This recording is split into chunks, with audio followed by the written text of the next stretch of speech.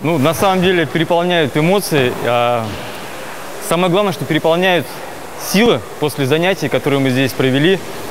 А, Я в настоящий момент живу в Москве. И на самом деле был приятно удивлен, что в Чебоксарах появился такой прекрасный зал. И у жителей Чебоксара есть возможность заниматься здесь. Здесь профессиональный подход и атмосфера, которая в зале, она помогает тебе добиваться каких-то результатов определенных. Здорово, ребята, всем советую. Э, Занимайтесь кроссфитом. Я приеду в Москве, обязательно займусь кроссфитом уже в полном объеме.